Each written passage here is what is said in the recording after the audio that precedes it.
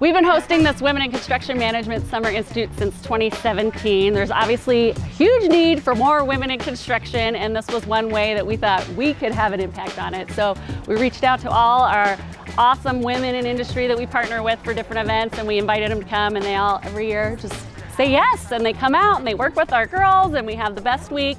Meeting all of these super inspirational women and like getting to chat with them about like what they do in construction and then getting this hands-on experience with different tools and making different stuff. It was super exciting. Today marks my 26th year in the industry as a professional. And I, I think, you know, the, the construction industry needs the diversity of women in its program. It's a diversity of thought, it's a different diversity of experience, and all together, that's just gonna make our industry even better. I didn't even know this was a career until I came to CSU, and I feel like I happened into construction management. I wanted to make sure that some gals can have the opportunity to know that it's there and that they don't have to fall into it, they can be intentional, and that it's a phenomenal and amazing career. I think it's really important that those of us who have found this job, that we share it with other young girls and we let them know that it's an option for them and it's, it's fulfilling, it's rewarding, it's exciting. It's really like nice to know like there are more people like you in this field. I think it's important just to like raise girls' confidence and to show that other people want to go into the same business. We're doing a concrete activity, so I wanted to share a little bit of my knowledge with these young women.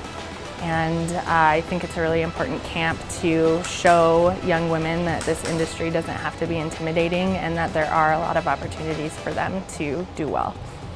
There's so much that I love. Um, every day is a new experience. Every day is just um, exposure to things that one day I hope I'm able to do. Um, it's been so amazing.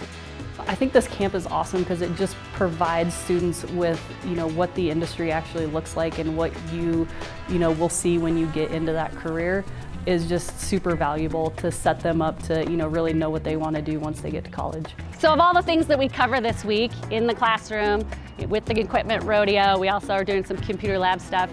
All the stuff we've done with confidence building and self-exploration. No matter what career they take, whether they go into construction or something else entirely, these are amazing skills that young women need and can use wherever they go. What I teach in this session are just the fundamentals of being confident and the importance of it and what they can do from everything from being authentic from being trying new things, getting out of their comfort zone, and really just recognizing the things that are holding them back.